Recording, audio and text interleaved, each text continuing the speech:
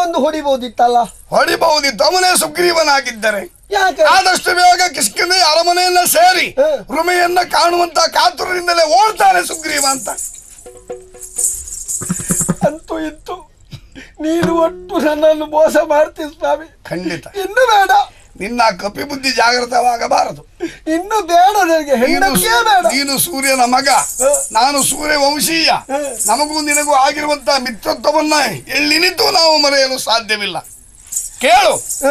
ಈ ಲೋಕದಲ್ಲಿ ಶೌರ್ಯದಿಂದ ಸಾಹಸದಿಂದ ಸಂಪತ್ತಿನಿಂದ ಏನನ್ನಾದರೂ ಪಡೆದುಕೊಳ್ಳಬಹುದು. ಅಣ್ಣ ತಮ್ಮಂದಿರು ಹುಟ್ಟಿನಿಂದಲೇ ತಾನೆ ಹೌದು.